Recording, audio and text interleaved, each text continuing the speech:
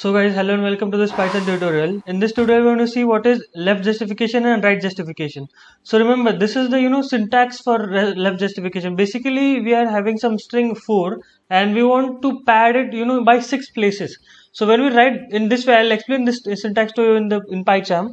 But when we print this out, it will print out 4. And remember, these two hyphens are not actually hyphens. They are spaces. They are not actually hyphens. So actually, let us see what it is in PyCharm.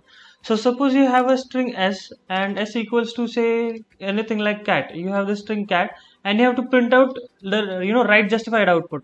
So suppose you want the six spaces, basically six spaces that and remember by six spaces hold on first I'll write the syntax. So you'll just write percent six and after that what you're going to do is go outside the double quotation marks the, and inside the round bracket.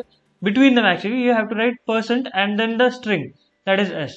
And and remember uh, if you run this code it will give us an error because percent six means what is percent six it, it, does not know. We have to specify a format specifier which is s. S stands for a string so actually i'll change the string name actually let us say this is s1 because i already wrote s over here so it might get confusing that's why.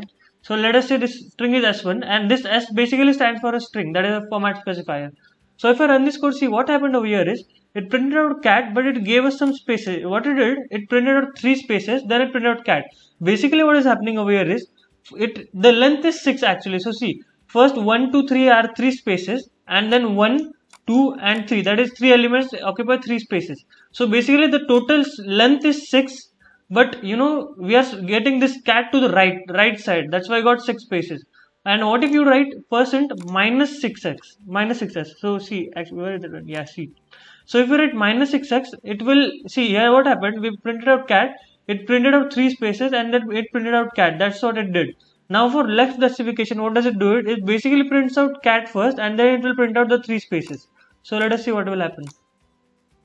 So see it printed out cat and it will print out three spaces. Obviously I know you don't know if it is right or wrong.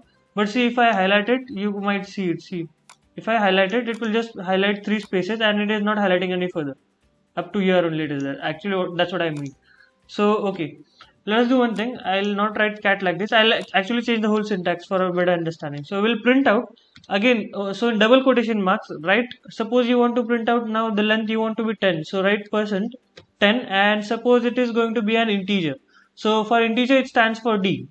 And after that after the double quotation mark and after actually double inverted comma inside the round bracket you have to write percent and the integer value. So obviously you don't have to write the integer value into double quotation marks, then it will be a string, so it will give us an error. So for writing an integer, suppose I have an integer 24, and if you run this code, it will print out. So basically what will happen, first it will print out 8 spaces, then it will print out these two, that is, totally it should be 10, that's what it means.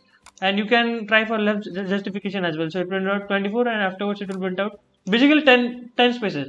And if you write minus i want to explain you this concept. So see basically what it is doing is it is padding spaces to the left side and the number gets gets shift to the right side. So as the number is getting shifted to the right side so it is known as right justification.